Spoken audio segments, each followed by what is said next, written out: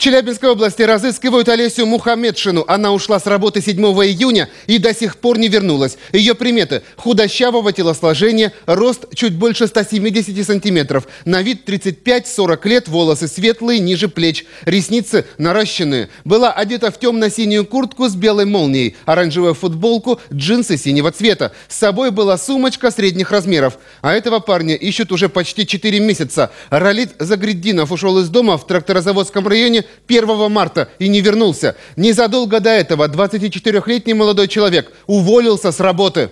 А ВКонтакте э, нас он просто удалил всех из друзей, всех наш, нас родственников. По поводу увольнения мы уже узнали, когда сестра поехала в Челябинск. Комната, где он живет, э, сдает наша двоюродная сестра ему. Муж сестры двоюродный поехал туда, зашел, посмотрел, сказал, что вещи не тронуты, ноутбук стоит, хотя ноутбук он всегда с собой берет, куда бы он ни поехал.